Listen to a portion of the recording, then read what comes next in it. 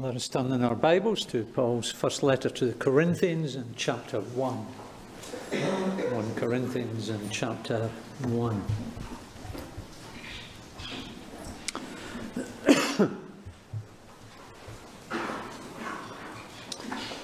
As I was uh, going through some boxes recently, uh, I came across some correspondence uh, between Kyungju and myself in the weeks prior to our marriage and uh, reminded me of just how much communication has changed uh, since then. Kyungju was back in South Korea and I was at home in Scotland. And due to the extortionate prices, and this is what some of you younger people won't appreciate, the extortionate prices of international phone calls in those days, uh, we had to find other ways of communicating. A man in the church I belonged to had a fax machine in his factory office, which was about three mile away. And Kyungju's father, thankfully, had a fax machine. And so that is how we communicated for a few months.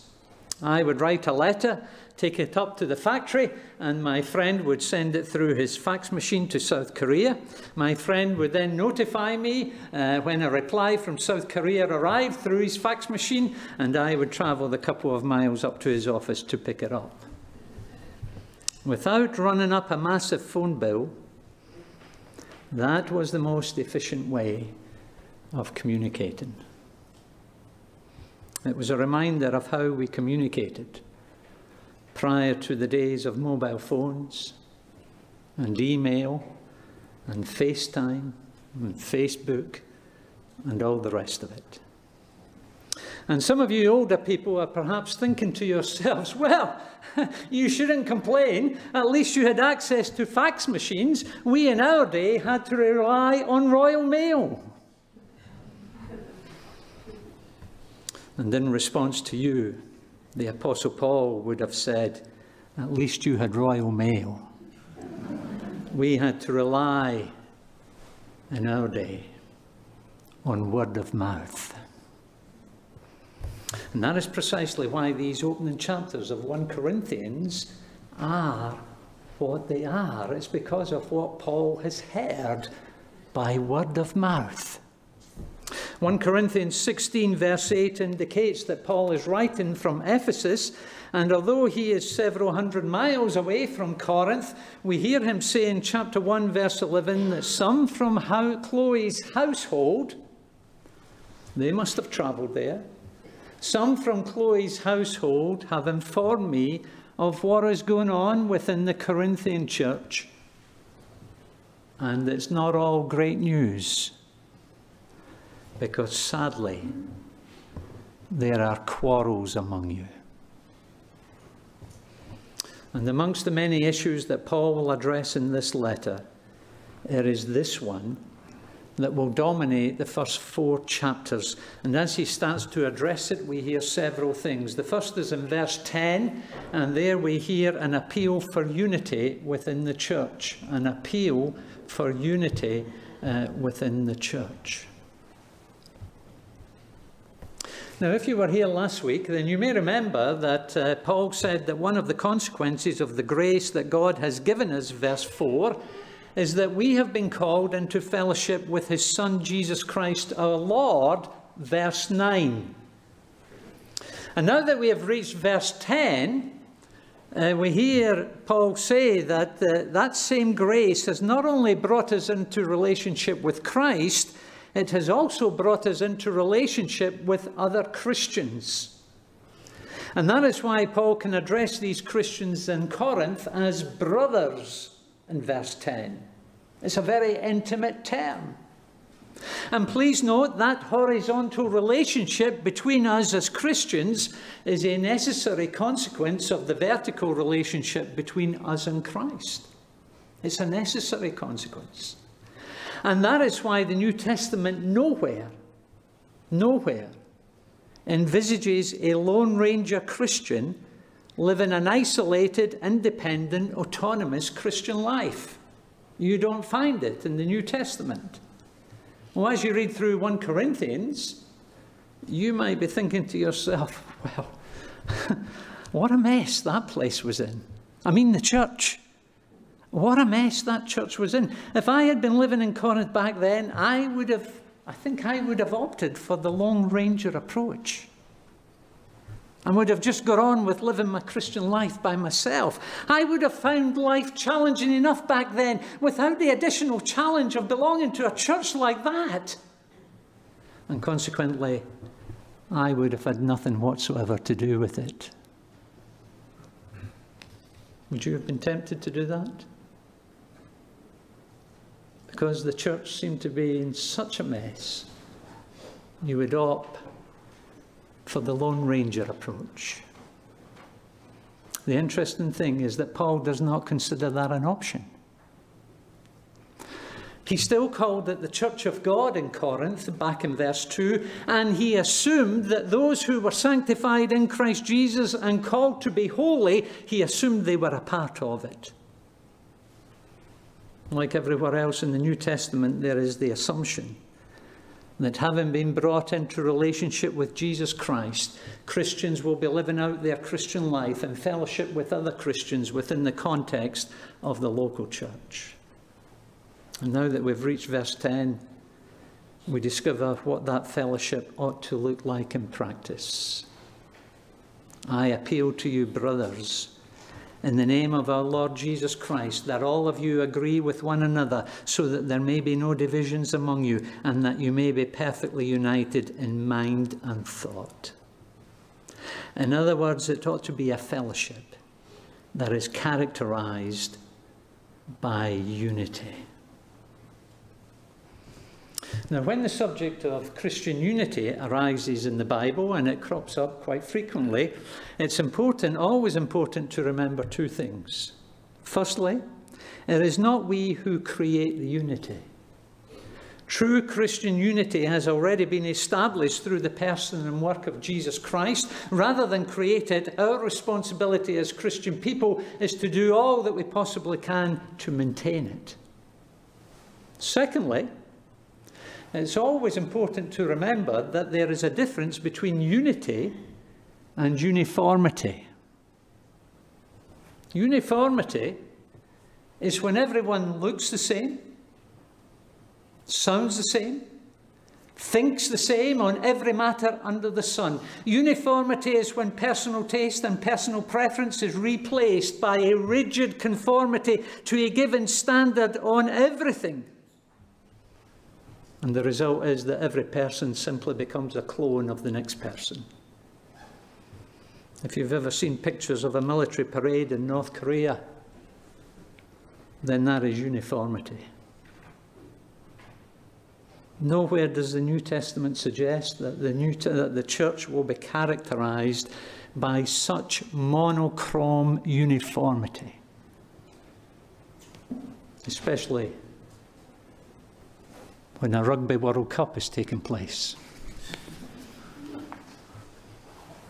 But although not demanding uniformity, Paul is demanding unity.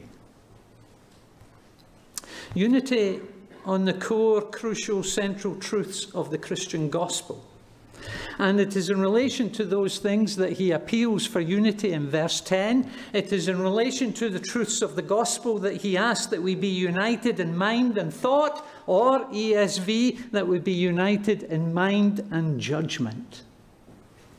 And the reason he appeals for unity on those things is because it is only as we are united on those things as a church that we'll be united in our purpose and in our goals as a church. It is only when we are united on those things, the central core things of the Christian gospel, that we'll make a common and a correct judgment as a church as to what is true and what is false, as to what is right and what is wrong. As you read through this letter, you discover that the church had failed to make a correct assessment and a correct judgment on a whole host of issues. They had failed to make a correct assessment and a correct judgment on a number of theological issues, practical issues, and moral issues.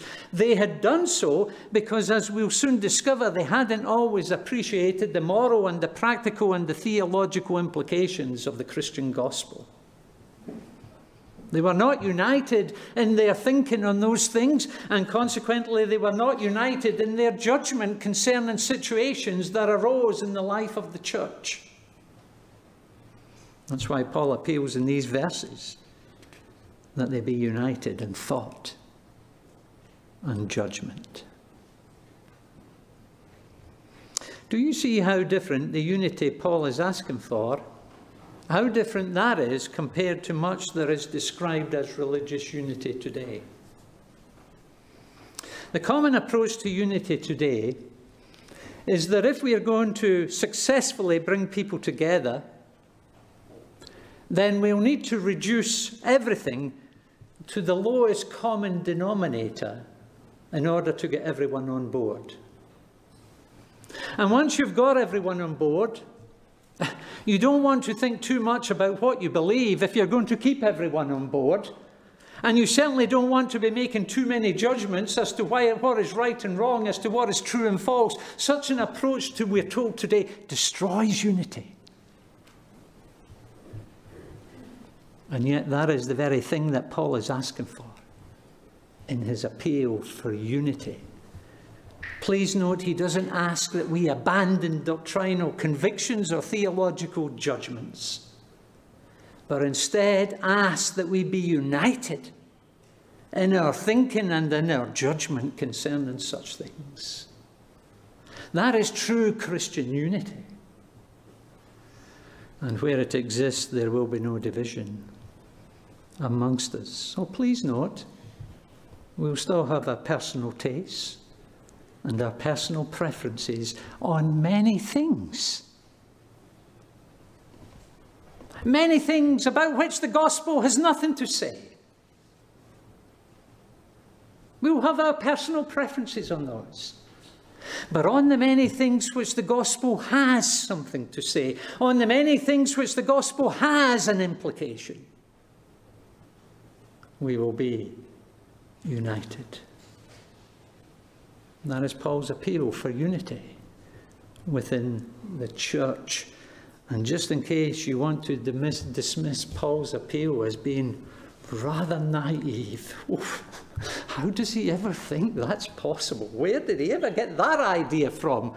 Well, before you dismiss his appeal as being naive, let me remind you that he wasn't the first person to make such an appeal. Somebody else made it before him. Do you remember the, what the Lord Jesus prayed in John 17, speaking about those who would subsequently believe in Jesus through the apostolic gospel? Jesus said this in verse 21 I pray that all of them may be one, Father, just as you are in me and I am in you.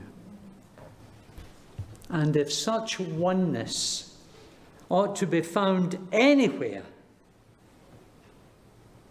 surely it ought to be found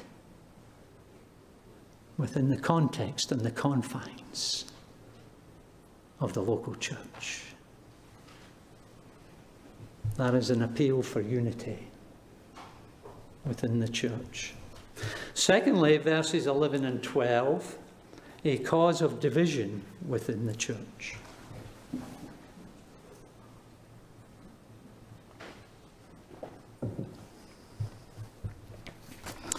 As is usually the case in Paul's letters, his appeals and his instructions and his corrections, they're not just random, plucked out of nowhere, but instead are made in the light of the particular situation that he is addressing. And if ever that was true, it's true here. The reason he has appealed for unity in verse 10 is because there is a serious lack of unity within the Corinthian church. Verse 11 some from Chloe's household have informed me that there are quarrels among you. What I mean is this one of you says, I follow Paul. Another, I follow Apollos. Another, I follow Cephas, i.e., that's Peter. And still another, I follow Christ. Now, having established uh, this church three or four years earlier, there were some people who would still have remembered Paul, those who were the original converts and made up the original members of the church. And there would be those who still remembered Paul and would have had the greatest of respect for him. Acts 19 informs us that following Paul's departure, a man called Apollos went to Corinth and was a great help to the Christians there, and consequently, some within the church thought very highly of him. They were greatly helped by him. There's no mention of Peter ever actually visiting Corinth, but it may just be that because of his stance on Jew Gentile issues, some of those within the church from a Jewish background perhaps thought the world of Peter. Paul, Apollos, Peter, and last but not least, there are some who say, I follow Christ. Now, in one sense, everyone within the church followed Christ. That's what made them a Christian. But opinion is divided as to whether this fourth group are right or wrong in saying, I follow Christ. And some people think that they're no better than the rest and that they have reduced Christ to the level of the other three names mentioned and are simply using his name to appear superior or super spiritual compared to the rest. Others suggest that Paul includes this reference to Christ in order to shame the congregation for having given their allegiance to anyone but Christ. And if you've got an opinion on either of those views, then come along on Tuesday night and share it. But whatever your views on that may be, the important thing to realise is that the four people mentioned were not the cause of the division. That's important to realise. It's not Paul, Apollos, Cephas, or Christ who are the cause of division, and therefore they were not to blame for it. The problem was not with any of these three or four individuals. The problem was with the Corinthian Christians' attitude towards these various individuals. Instead of focusing on Christ, they had adopted Christian leaders as their heroes and they had exalted them to such an extent that their allegiance to that person was in danger of becoming the defining point of their Christian identity and it was in danger of becoming the defining matter in their fellowship with other Christians. You see, it wasn't merely that some remembered Paul with great affection, that was only natural. The problem was that viewing Paul with great affection became the criteria of their attitude towards their fellow believers within the church. And so, not surprisingly, what happened over time is that all those who thought the world of Paul very quickly became a little Pauline clique within the church.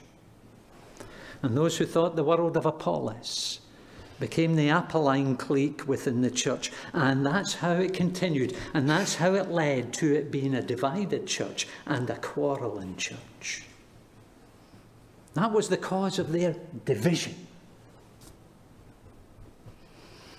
And sadly, such behaviour continues to divide churches today. And I'll give you three examples.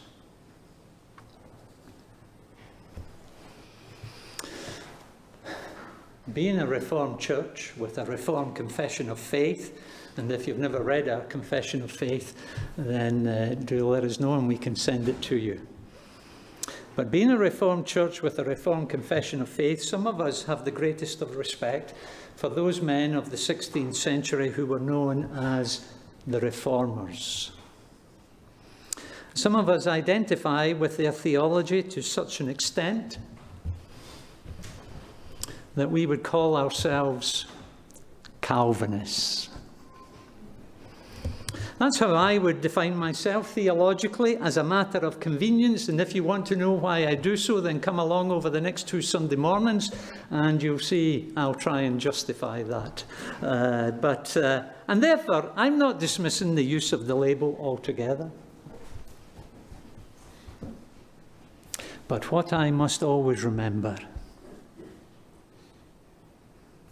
is that I'm a Christian first and a Calvinist second. And the test as to whether I'm maintaining that distinction correctly Is my attitude towards those in the church who are Christians but who wouldn't necessarily use the label to describe themselves theologically? Do I love them as brothers and sisters in Christ? And do I appreciate and value my Christian fellowship with them? Or do I allow my Calvinism to become the criteria for determining who I fellowship with and who I don't? If it is the latter, then it would seem that I'm a Calvinist first and a Christian second. And that's what creates cliques within churches. And that's what eventually divides churches. Example number two. Where you have a plurality of leaders within a church, and by the way, that is the biblical model. The New Testament is very clear on a plurality of leaders within a church. But wherever you have that, there is always the danger of the Corinthian division occurring at a local level over local church leaders. 2,000 years on, and human nature hasn't changed one bit. Certain people rally behind a particular leader, while others rally around one of the other leaders, and they do so to such an extent that they give that leader an unhealthy loyalty and an unhealthy allegiance. For example, wherever that leader in the church says, they will back it. Wherever decisions are to be made in the life of the church, you can guarantee that they'll be on that person's side. They wouldn't dream of questioning them or contradicting them. And consequently, what you get over time is a church which has little cliques of people, each rallying around their particular little leader. And if allowed to continue, such behaviour results in a divided church. A church that is divided over its leaders. Then, in addition to that danger arising over local church leaders, it can also occur today over our global church leaders. And on hearing that phrase, you might be thinking to yourself, oh, that's a little bit strange. I thought we were a, an independent evangelical church. I didn't know we had global church leaders. Who are they? Well, let me explain. We are privileged, and I mean that, we are privileged to live at a time when excellent Bible teaching and good solid theology has never been more accessible. Due to the internet, there is no end to the amount of good, solid biblical reform material that you can listen to. No end to it.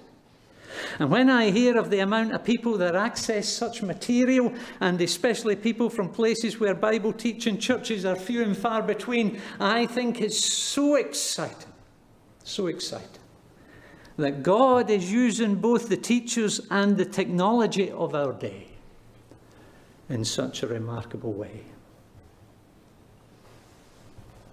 But through no fault of the teachers, there is always the danger of Christians elevating such godly and gifted men to a level where it can become unhealthy, unhelpful, and even divisive.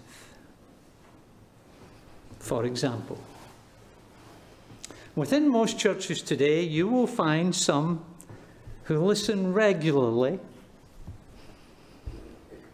to one or other of the two Johns. You don't need me to explain, you know perfectly well who they are, and that's great. That's great. We've got our personal preferences, especially when it comes to preachers, and so there's no problem whatsoever with that. But the problem is, when the two Johns become the defining criteria of our Christian fellowship, and we form a clique within the church which consists of those who listen to our John, and excludes those who listen to the other John. That is the last thing that either of those two men would want to happen. And that is the last thing that Paul would have wanted to happen. Example number three. We live in a part of the world which has a great history and a great heritage of hymn writing. We have great hymns by Isaac Watts, Charles Wesley, Augustus Toplady, and last but not least, William Williams. But what we must always remember is that in sharp contrast to our Bibles, there is nothing to say that the canon is closed when it comes to our hymn books. And consequently, we also have great hymns. And we've just sung one of them by more recent hymn writers such as Stuart Townend and Keith Getty. And would you believe it? If we've all got a personal preference over our preachers, you can be sure we've all got our personal, personal preferences when it comes to hymns and our hymn writers. And can I emphasize there is nothing wrong in having a personal preference? But the problem is when your personal preference with respect to hymn writers becomes the defining criteria in your attitude towards your fellow Christian. For example, if you're an Isaac Watts follower, you actively seek out those in the church who belong to your camp and share your preferences of hymn writers while keeping your distance from those who belong to the other camp. And likewise, if you're a Stuart Townend follower, you gravitate in your fellowship to those who share your personal preference, and if possible, you avoid those whose allegiance is different. And I use the word allegiance deliberately because that was the problem in Corinth. And that is the problem today when our personal preference, when our personal affection, when our personal admiration for someone, whether it be a preacher or a hymn writer or a theologian or a church officer or whoever, the, change, the danger is when such people become the object of our allegiance to such an extent that we are not only unable to question what they say or what they write, but we also treat with suspicion those of our fellow believers who don't happen to share our allegiance. That's what causes cliques within churches. And that's what eventually divides churches. It was the cause of the division in Corinth, and it continues to be the cause of division today. Thirdly and finally, verses 13 to 17, and there we see a challenge to a divided church a challenge to a divided church.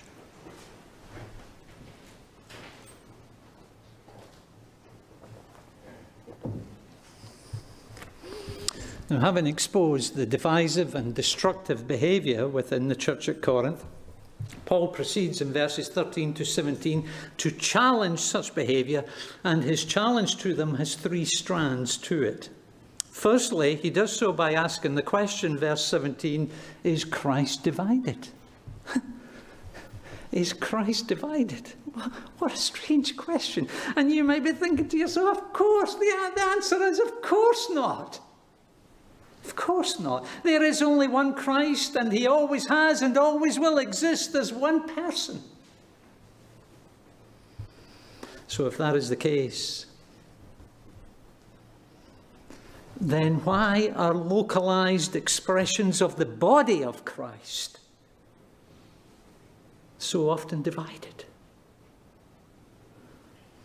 And please note, divided mostly over things which have no doctrinal implications whatsoever, but rather are a matter of culture and personal taste and personal preference. Is Christ divided? Of course not. And so neither then should be a localized expression of the body of Christ. Second strand to his challenge, verse 17, was Paul crucified for you? Were you baptized into the name of Paul? What is interesting with this one is that he's highlighting the error not of those who follow Peter or Apollos, although the very same argument applied to them, but to those who followed Paul. and you might think, why is he doing that? Well, the reason for doing so was probably because no one could accuse him of sour grapes. If he had said, were you baptized into the name of Apollos? Did Apollos die for you? Some people in Corinth might say, ah, he's a bit petty. He's just annoyed and taking the huff that people are following Apollos and not Paul. And so to avoid that from happening, he takes himself as the case study. And he says, was Paul crucified for you? Were you baptized into the name of Paul? To those who have elevated him or anyone else for that matter, to an unhelpful and unhealthy status, he asked the question, was Paul crucified for you? The answer is, of course not.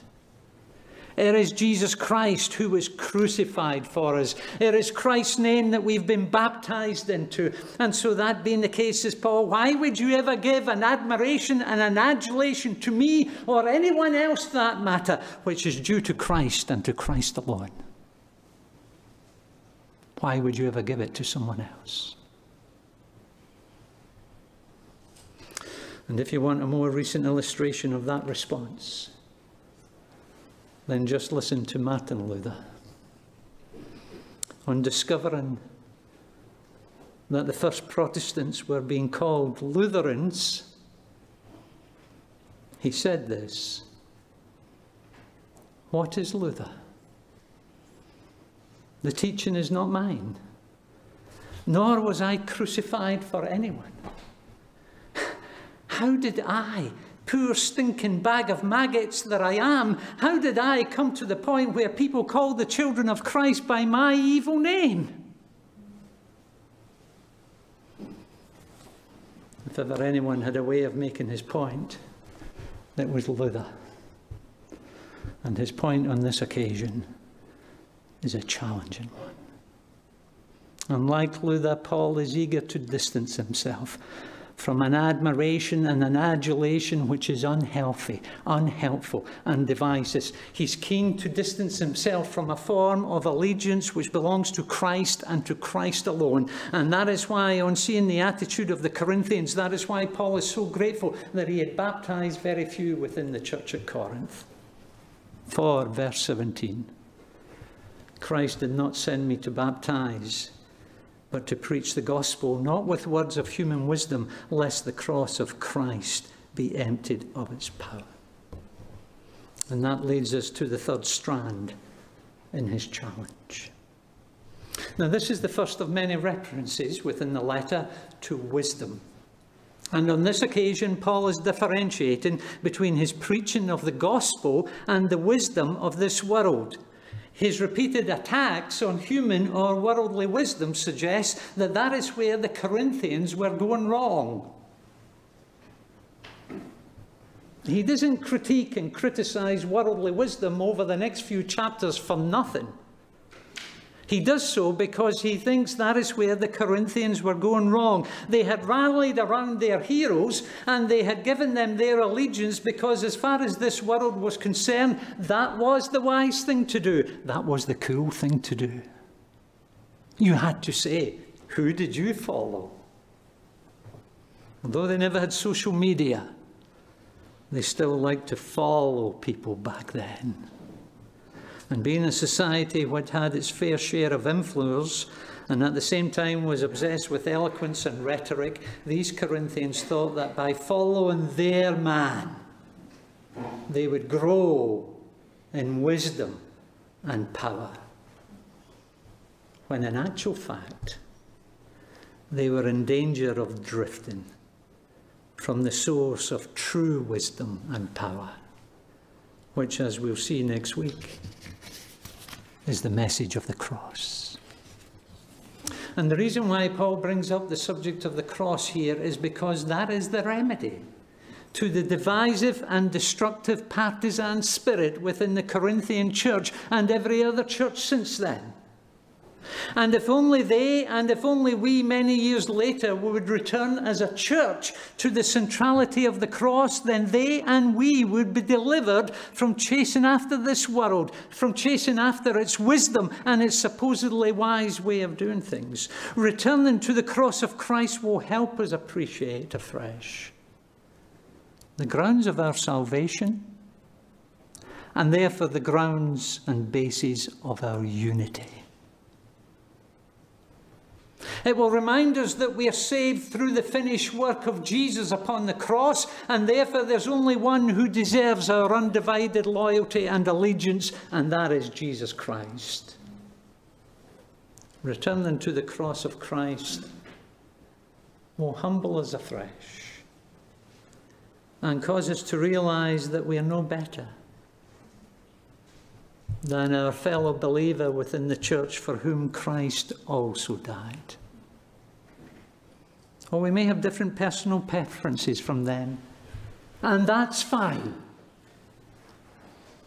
Paul is not asking for uniformity.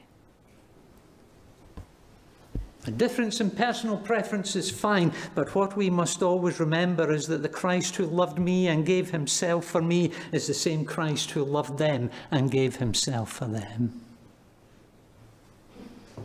The centrality of the cross was the remedy for the division within the church at Corinth, and it continues to be the remedy for the division within every other church since then. I say that because as we will discover over the coming weeks, the cross of Christ is incompatible with the wisdom of this world.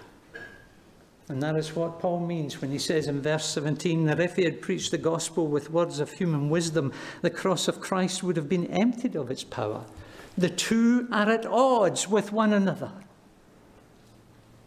And therefore, the more we are focused on the cross of Christ, the less likely we are to imbibe the wisdom of this world. A worldly wisdom which caused the Corinthians and us many years later to say, I follow this preacher, or that theologian, this hymn writer, or that church leader. The remedy for such a divisive partisan spirit, says Paul, is the centrality of the cross of Christ. Three things we hear Paul say concerning the local church. Firstly, an appeal for unity within the church.